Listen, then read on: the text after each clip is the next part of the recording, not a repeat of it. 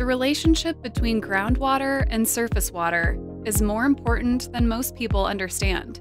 The base flow in all streams and rivers is seepage from groundwater, and when rivers are above base flow, they replenish the aquifers. This relationship is continuous and connects the two water resources directly. Today, we are moving towards the next generation of integrated modeling of surface water and groundwater. The new FEFLOW module piMIKE1D combines the best of FEFLOW for groundwater modeling and MIKE Plus with its MIKE 1D River module for surface water modeling. You can access the new module directly from the FEFLOW problem settings.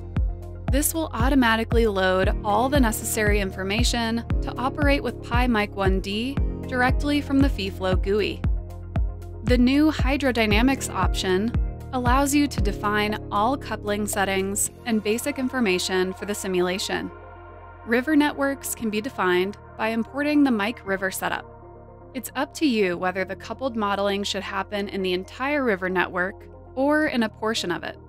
Using the convenience of FEFLOW selections, river length can be easily varied without the need to modify the river geometry. You'll get an immediate overview of the most relevant information in your surface water model. On the Basic Settings tab, you can control simulation times, river discretization, and more. The water exchange between rivers and aquifers can be easily monitored with a single click with the Fluid Rate Budget History charts.